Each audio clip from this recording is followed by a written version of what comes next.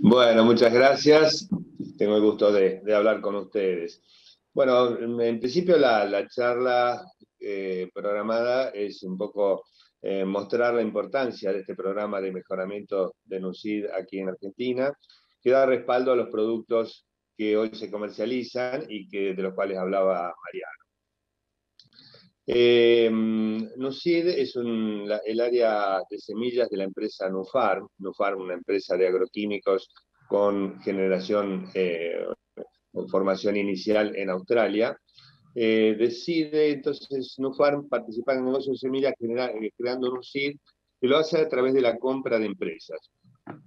La primera empresa que compra es la, la empresa Lefroy en Australia, una empresa dedicada al mejoramiento de girasol, mejoramiento de sorgo y de canola. Em, eso fue en el año 2007. En el año 2008 compra la empresa Superseed, ubicada en Novi Sad, Serbia, y eso le da no sé, la posibilidad de tener acceso al mercado europeo y al, mercado del este europeo y asiático. En el año 2010 compra la empresa Flower Genetic, ubicada en California, Estados Unidos, eh, fundamentalmente trabajando en lo que es girasol de aceite y también en girasol confitero. Eh, en el año 2011 adquiere eh, 2000 en Estados Unidos y eh, en el año siguiente, 2012, la ramificación de 2000 aquí en Argentina. ahí es donde vamos a hacer un poquito hincapié porque es justamente el programa que está aquí en Argentina deriva de esto. Pero vean ustedes cómo lo que hace Lucil es comprar programas de distintas regiones, lo que hace em, a que confluya aquí eh, germoplasma de distintos eh, orígenes, distintas fuentes de investigación. Eh, la siguiente, por favor. Un poco como les decía recién, lo que está aquí es la derivación del programa de CID 2000, que, que se compra eh, en, Estados Unidos en 2011 y aquí en el 2012. Eh, les hablo un poquito del origen de ese programa porque es lo que más impacta a lo que hoy tenemos. Eh, en 1998 se funda NUCID, la funda Gary Fick, y este es un, trabaja fundamentalmente en lo que es girasol de aceite y también en el girasol confitero. Importante mencionar a Gary Fick porque es uno de los, llamémosle, próceres del girasol a nivel mundial. Eh, Gary Fick eh, trabajó muchos años en el USDA de Estados Unidos y tiene un papel fundamental en la existencia de los híbridos en, el mercado. previo al año 70, los girasoles eran variedades, genotipos altos, pero variedades, no eran híbridos. La aparición del híbrido en el mercado mundial tiene que ver con eh, el trabajo de un francés, Leclerc, que desarrolla la androesterilidad, o sea, el hecho que un parental sea femenino, no produzca polen, y Gary Fick en Estados Unidos desarrolla el parental masculino, que es el que restaura la fertilidad. Eh, desarrollada esas dos fuentes y que permite la existencia de los híbridos que hoy tenemos en el mercado desde, desde aquel momento, desde el 70 en adelante.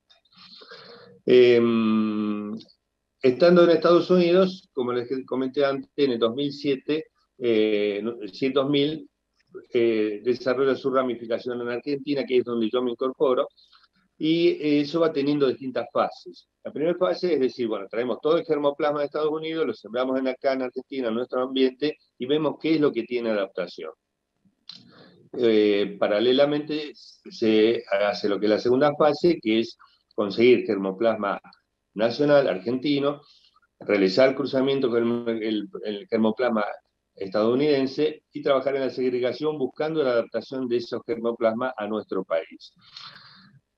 El tercer paso, y fundamental, viene en el 2012 cuando NUCID adquiere a CID 2000, porque allí el, programa de aquí de Argentina pasa a tener acceso a toda esa eh, genética internacional de la que antes hablábamos, eh, luego de que NUCIR adquiere las empresas en Serbia, en eh, Australia y también la Flower Genetic en California.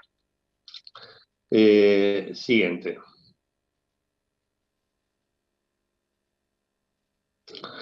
Los objetivos del programa van siendo eh, alto rendimiento en grano, es siempre un objetivo, y muy alto contenido de aceite. Ahí está la clave, eso es lo que el productor eh, va a tener impacto en lo económico del productor.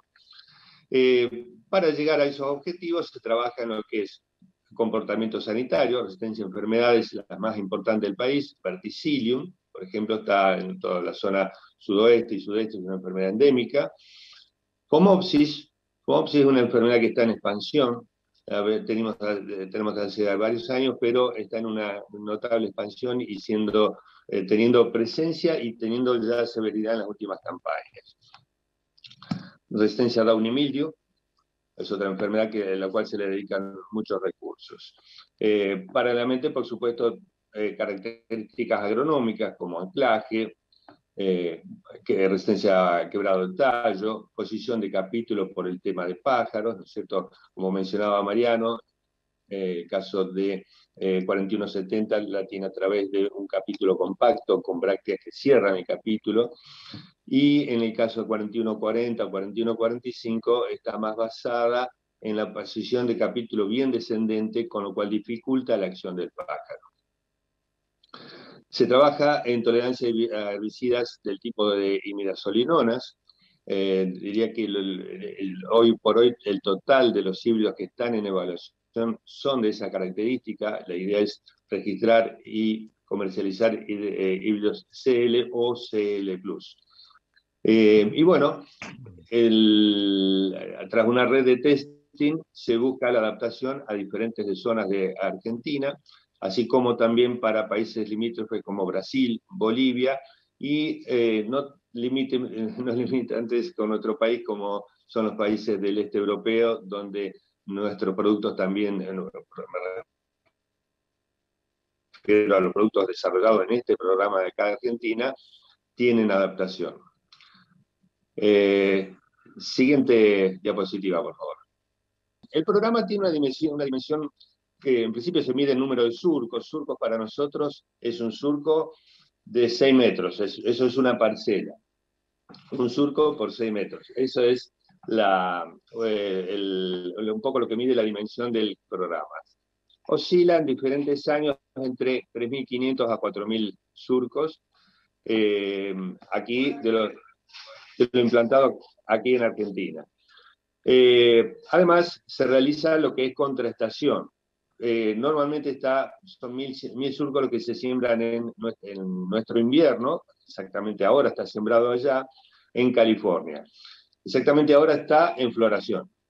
Esto, esta contraestación que hacemos en California, eh, en una estructura que nos tiene en Sacramento, nos permite hacer dos generaciones anuales. Eh, allí, justamente en Sacramento, nos ha desarrollado una base eh, de investigación muy importante, ha hecho una inversión muy importante fundamentalmente en, lo que es laboratorios de marcadores moleculares, y eso es una herramienta muy importante para nosotros eh, para la detección de caracteres. O sea, básicamente marcadores moleculares lo que hace, nosotros recolectamos una muestra de tejido de una planta en el campo eso, ese tejido se deshidrata y eh, por trabajo realizado en el laboratorio eh, se determina la presencia o no de un gen que es de nuestro interés. Y eso nos permite seleccionar y seguir trabajando. Esa información es de certeza total. Eh, en el programa se genera aproximadamente entre 800 a 1000 híbridos nuevos por año. Estos van a evaluación. de los mil híbridos que pueden desarrollarse, solamente el, 10%, 15% continúa en evaluación, o sea, la presión de selección es muy alta. Eh, la evaluación se está realizando actualmente en 16 localidades, 4 en el noreste argentino, norte de Santa Fe, Chaco, 6 en el oeste y 6 en nuestro sudeste. Los híbridos generados son de distintos segmentos que se comercializan en el país, como se IMI linoleico, IMI alto leico y eh, híbridos también de confitura. Siguiente.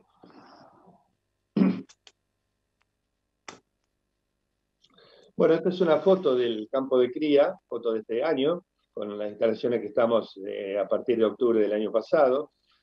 Lo que ven allí son una serie de plantas, son tablones donde hay, en este caso, 70 surcos por tablón, y eh, las plantas que están tapadas con una bolsita, esa bolsita lo que hace es que es impermeable al polen, lo que hace que si la planta que ha sido tapada produce polen, se va, los granos que forme va a ser por polinización con su, su propio polen. Es una planta que se autofecunda. En el caso que la planta es una planta estéril, o sea, hembra, nosotros vamos a traerle polen de otra planta y vamos a identificar el cruzamiento realizado, o sea que ahí lo que hacemos es controlar el destino del polen y saber qué es lo que esperamos cosechar en la generación, cosechar y sembrar en la generación siguiente. Siguiente. Esa foto lo que muestra es eh, las siembras escalonadas que realizamos. Pueden ver atrás lo que está tapado con bolsita, o sea, ya está en, floración, y lo más cercano que está, diría 30, 40 días después de, de, la siembra. Eso lo que nos permite es un escalonamiento del trabajo, es un tema laboral fundamentalmente. Siguiente. Bueno, y estos son nuestros ensayos. Eh, esos ensayos aquí en Venado Tuerto, eh, donde se evalúan el total de híbridos eh, nuevos, como les decía, están entre 800 y 1000 por, por año, más los híbridos que están en primer año de retest, o sea, su segundo año de evaluación, e híbridos que están en estado avanzado. Bueno, un poco eso es lo, que les había preparado. un poco, yo le diría que la conclusión es que la fortaleza, la, madurez de un programa tiene que ver con eh, la base genética amplia que tenga, que eso un poco se lo mostré a través de cómo se genera el programa de, de NUCID, y los años de mm, mejoramiento, los años de dedicación en que uno puede estar seleccionando y trabajando sobre el material. En caso de CI 2000 empieza en el año 1998, acá en Argentina en el 2007, pero con dos generaciones anuales. Así que estamos acá en este programa en particular con 28 generaciones. Bueno, eh, eso es lo que tenía para, para comentarles. Muchas gracias.